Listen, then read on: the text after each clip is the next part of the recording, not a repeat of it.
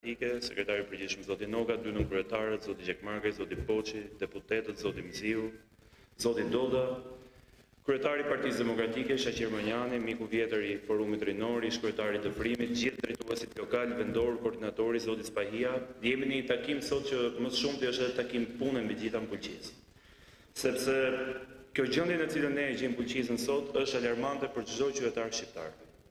E përmendi në fjalën e tij Shaqiri tha që një e treta e Bulqizës është boshatisur në këto dhjetë vite të drejtimit të Edi Ramës. Fshatrat po boshatisen, por jo vetëm, po boshatiten, po boshatisen qytetet.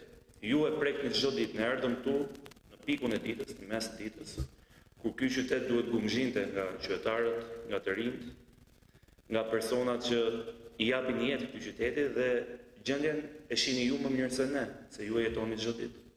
Por ja u garantoj që kjo që ndodh në Bulqizë, nuk ndodh vetëm këtu, nuk ndodh vetëm në Dibër, nuk ndodh vetëm në Mat, nuk ndodh vetëm në Burrel, nuk ndodh vetëm në në veri të Shqipërisë e në jug, po kudo, edhe në Tiranë ka pllakosur emigracioni.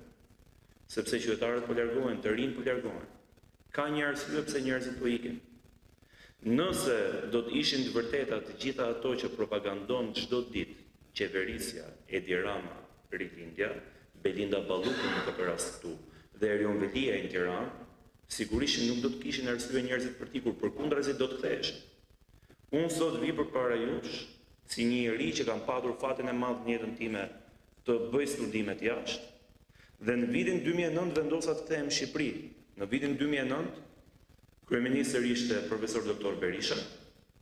Shqipëria anëtarësohej në NATO.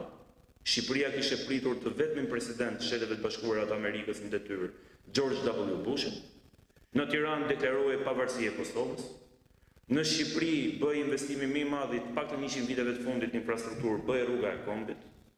Në Shqipëri kishim rritje ekonomike dyshifrore dhe si unë përmes programit atëherë që kishte qeveria Brain Gain, me mijëra të rinj studentë, miq të mi, kolegë të mi, shokë të mi e shoqe të miat, u kthyen në Shqipëri. Por ça ndodhi? Pas vitit dy mijë e katërmbëdhjetë kryesisht e dy mijë e pesëmbëdhjetës, rifilloi një emigrim shumë i fortë si ai i viteve nëntëdhjetë dhe një ikje e trurit. Edhe ata që i dhanë një mundësi të dytë Shqipërisë, edhe ata miq që kishim që u kthyen, sërish vendosën të largoheshin sepse nuk ia dilnin dot. Sepse u përballën me një bandë e cila në fokusin e saj të vetëm ka vjedhjen e pasurive kombëtare dhe natyrore të vendit tonë. Ju jetoni në një zonë shumë të pasur me minerale, por që për fat të keq, qytetarët e Bulqizës nuk e ndjejnë këtë pasuri, nuk përfitojnë nga kjo pasuri e madhe publike, por shfrytëzohen. Ju këtu keni qenë shembull se si ish-kryetari i bashkisë mos gaboj që u dënua me burg dhe këtu tregohet dhe standardi i dyfishtë i drejtësisë, për një tender mos gaboj ujësjellësi për një kanal Rreth tre milionë euro u dënua me burg dhe shumë mirë. Shumë mirë bëri Spaku që e çoi para drejtësisë dhe e dënoi. Pak rëndësi ka kush e zëvendësoi se u përmend pak më parë nga nga zoti Mziu si drejtues politik i Dibrës, kushdo që vjen po fytyrën e këtij regjimi dhe të kësaj bande ka, po fytyrën e Ramës ka. Por, paralelisht në Tiranë që ta dini çfarë po ndodh, ne sot vijmë nga një protestë, një protestë shumë e fortë, e gjasha që organizohet para Bashkisë Tiranës, ku, ndryshe nga Bulqiza, kryetari i bashkisë kapet duke vjedhur njëqind e tridhjetë e dy milionë euro për një incenerator që nuk ekziston, që ta dini, i janë dhënë njëqind e tridhjetë e dy milionë euro për diçka që nuk ekziston. Pra është ndryshe të thuash që është bërë keq një godinë, është vjedhur ke rruga se është ngushtuar rruga, ke ura nuk janë bërë punimet e mira, apo kjo shkolla është kursyer boja nuk e di unë tulla llaç, nuk e di si vjedhin këta. Po flasim për një vjedhje absurde, nuk e ka dëgju njeri në historinë e Shqipërisë dhe të Europës që të jepen njëqind e tridhjetë e dy milionë euro për diçka që nuk ekziston. Iu kapën drejtorët që të gjithë, duke vjedh tenderat njëqind për qind, pesë drejtorët e tij, do i kapen dhe shumë tjerë më pas. Dhe çfarë thotë kryetari i bashkisë në Tiranë? Nuk e dija, s'kam përgjegjësi. Shkova takova kolegët. I mohon. Domethënë në Bulqizë mban përgjegjësi kryetari, se sigurisht kryetari me vendimmarrjen dhe dëshirën dhe okejin dhe dritën jeshile të kryetarit bëhen këto punë, kurse në Tiranë për qind e tetëdhjetë milionë euro të faktuara deri tani, kryetari i bashkisë nuk mban përgjegjësi, përkundrazi, del dhe tallet me organet e drejtësisë, del dhe tallet me SPAK-un. I çon të nesërmen që shkon aty tetë orë që e poshtruan, e lanë dhe një orë para dere aty ta shihnin gjithë kamerat, gjithë mediat kombëtare dhe ndërkombëtare, i çon dhe i mbjell pemë të nesërmen në një tallje flagrante prokurorëve dhe hetusëve të SPAK-ut. Të njëjtët prokurorë, të njëjtët prokurorë që këtu afër nga zonat tuaja janë edhe ata që po hetojnë çështjen e inceneratorit të Tiranës, edhe ata që po hetojnë Edhe po drejtojnë sot SPAK-un dhe po hetojnë çështje të tjera të përfshira të Erion Veliajt, të njëjtët prokurorë që herë e vendosin emrin e tij në dosje, siç është Altin Dumani, njëmbëdhjetë herë te dosja që ka bërë në korrik të vitit të kaluar, kurse prokurori tjetër Prençi ia zhduk emrin nga dosja.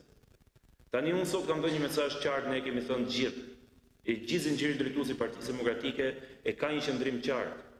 O ka të drejtë SPAK-u në këtë rast dhe Erion Veliaj është një hajdut, sepse ia ka përmendur emrin njëmbëdhjetë herë në dosjen e Tiranës, ose të bjerë SPAK-u, të amnistohet Erion Veliaj dhe t'i vëmë drynin SPAK-ut, se zgjidhje tjetër nuk ka. A e patë dje skandalin me atë gjyqtaren që s'ka lënë opozitar pa hetuar, që i doli dëbimi dhe mashtrimi që ka bërë në Greqi, ajo me tre mbiemra. Po keni parë ju drejtësi të tillë? Po ç'është kjo drejtësi që vetëm godet opozitën? Godet kryetarin e Partisë Demokratike, sot që ne flasim, Doktor Berisha, është në të njëqind e njëzet e shtatën ditë në arrest shtëpie. A di ndokush, edhe në këtë sallë, është pyetje që e kemi bërë së bashku me demokratët kudo, a di ndokush ndonjë akuzë për zotin Berisha sot që ne flasim? Ndonjë provë apo ndonjë fakt përse ai dhe familjarë të tij janë në arrest shtëpie? Po ndërkohë, këta që kanë vjedhur deri tani qindra milionë euro, do mbajë njeri përgjegjësi për këta? Pikërisht se nuk ka drejtësi në këtë vend dhe ka një drejtësi me regji, si ajo që pamë sot edhe Edi Rama, dhe mua pak më intereson shumë prej jush sot kur erdha këtu më thanë që Belind sot u pushkatua publikisht dhe politikisht Erion Veliaj nga Edi Rama. Po ç'na intereson ne? Ne na interesojnë lekët që kanë vjedhur. Ne na intereson që SPAK-u të marrë ato miliona t'i rikthejë në buxhet të shtetit, t'i rikthejë në investime, të hapë vende pune, në Bulqizë e në gjithë Shqipërinë. Në Tiranë t'i kthejë shkollat, kopshtet, çerdhet qytetarëve, të ndërtojë hapësira publike për qytetarët, parqe, lulishte dhe të mos betonizohet Tirana. Ndërkohë, ju rrugën e bëni çdo ditë këtu, në Bulqizë. Është e tmerrshme gjendja në të cilën janë lënë sot zonat periferike të Shqipërisë por mbi të gjitha është lënë fshati. Fshati është goditur më fort se kurrë gjatë njëmbëdhjetë viteve të qeverisjes së Edi Ramës. Por a e dini ju një fenomen interesant? Pikërisht në fshat, Edi Rama dhe Erion Veliaj dhe këta drejtues të PS-së fitojnë më shumë se kudo. Pse? Se e kanë lënë varfër, e blejnë, e blejnë më kollaj. Ofertës së tyre ne nuk i përgjigjemi dot dhe nuk përballemi dot me ofertën e tyre. Nëse ju dëgjuat parafolësit dhe do dëgjoni edhe dy nënkryetarët e sekretarin e përgjithshëm të flasin për propozime konkrete, për vende pune, për rritje rrogash, pensionesh, për një Shqipëri që prosperon, që ecën përpara, ne nuk flasim dot për ble votë. Ne nuk e përballojmë dot ofertën që kanë këta. Ne nuk jemi këtu për të blerë 100 euro, 200 euro, 500 euro votën. Nuk e kemi pas kurrë këtë në kulturën tonë politike dhe jemi kundër këtij fenomeni. Është një fenomen që zhbëri Shqipërinë, zhbëri zgjedhjet në këtë vend si si praktikë normale në çdo demokraci normale Dhe po zhbën vendin tonë. Ta blejnë me pesëdhjetë euro, me njëqind euro të ardhmën për katër vite, a e kuptoni ça i kanë bërë Shqipërisë? Dhe kjo ka qenë një politikë e qartë e Edi Ramës. Megjithatë, unë nuk dua të zgjatem shumë në në këtë sallë të akullt që tregon edhe presionin dhe represionin dhe terrorin e madh që bëhet mbi qytetarët për shkak se janë të detyruar nën kushte të tmerrshme t'i binden një pushteti represiv që i dëbon çdo ditë nga shtëpiat dhe vatrat e tyre, unë ju jap fjalën që ne betejën që kemi nisur nuk e lëshojmë.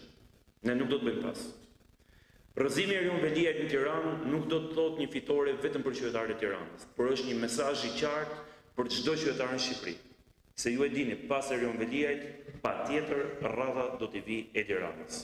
Ndaj ne të vendosur do të ecim përpara në rrugën tonë, përpara për të rikthyer shpresë ke qytetarët e vendit tonë, për të rikthyer shpresën dhe në Bulqizë edhe në Dibër dhe kudo dhe për të bërë të mundur që qytetet tona të gumëzhijnë edhe një herë, po kryesisht nga të rinjtë, nga fëmijët edhe nga ata që duan të jetojnë në këtë vend me ndershmëri dhe me djersën e ballit.